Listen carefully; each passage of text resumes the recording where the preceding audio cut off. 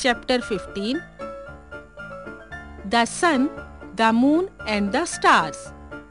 All these are heavenly bodies that exist in the universe. Teacher What is the sun made of? शिक्षक सूर्य किससे बना हुआ है student the sun is made of hot gases छात्र सूर्य गर्म गैसों से बना है। Teacher how far is the sun from the earth शिक्षक, सूर्य पृथ्वी से कितनी दूर है?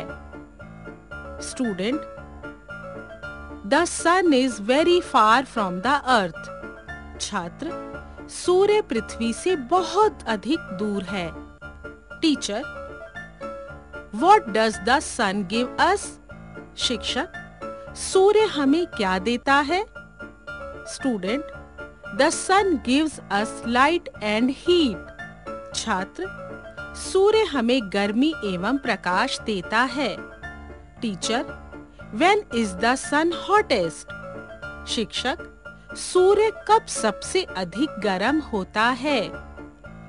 Student the sun is the hottest at the noon छात्र दोपहर को सूर्य सबसे अधिक गर्म होता है।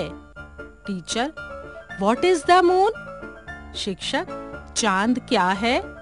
Student the moon is a satellite of the earth छात्र, चाँद पृथ्वी का एक उपग्रह है.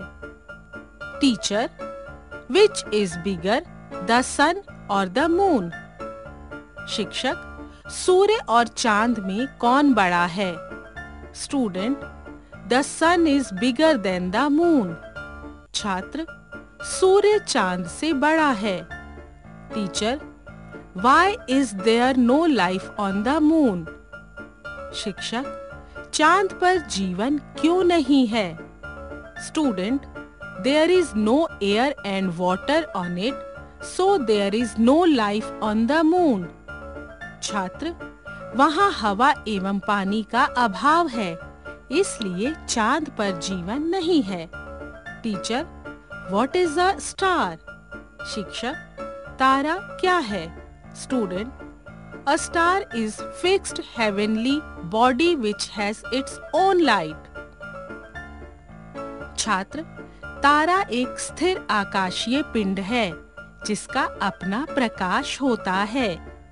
Teacher how many stars are there in the sky शिक्षक, आकाश में कितने तारे हैं?